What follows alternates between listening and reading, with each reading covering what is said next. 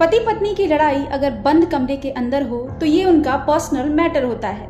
लेकिन कमरे के अंदर हो रहे इस झगड़े की आवाज़ जब बाहर आती है तो चर्चा का विषय बनते देर नहीं लगती।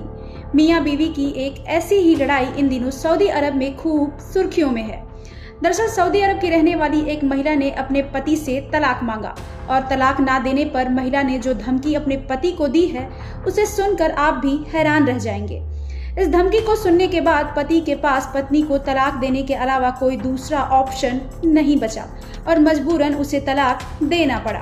एक रिपोर्ट के मुताबिक सऊदी अरब की इस महिला का अपने पति के साथ आए दिन झगड़ा होता था, जिसके बाद बात इतनी बढ़ गई कि उसने पति को धमकाया कि वो उससे तलाक ले ले। लेकिन पति तलाक लेने को राज़ी नहीं हुआ। पति की इस हरकत पर बीवी इतनी खफा हुई कि उसने शौहर को धमकी दे डाली कि तलाक नहीं दोगे तो वो सड़कों पर न्यूड होकर घूमेंगी। बीवी की इस धमकी को सुनकर शौहर के होश उड़ गए।